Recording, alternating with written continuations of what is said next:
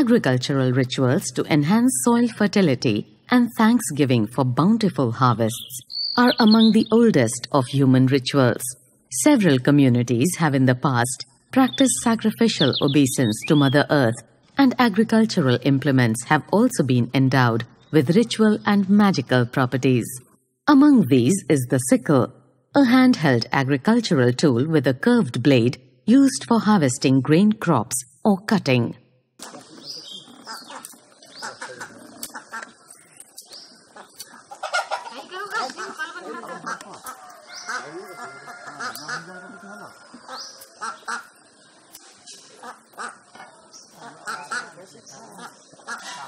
The Bonda believe that by severing the umbilical cord of a newborn girl with a sickle, she will be blessed as a good homemaker, while a similar ritual using an arrowhead will endow the newborn boy with skills of a hunter.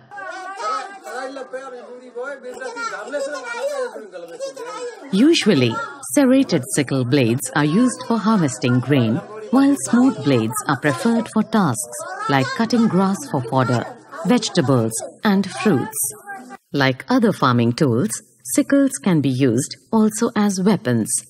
While they are not readily seen in tribal paintings of the region, the wide variety of shapes and sizes produced attests to the diversity of their use.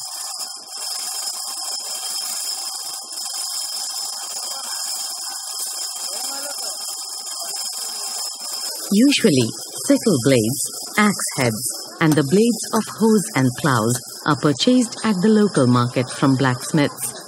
Take a closer look at the sickles in the display.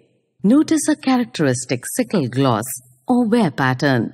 Such a pattern appears on sickles used to cut the silica-rich stems of cereal crops.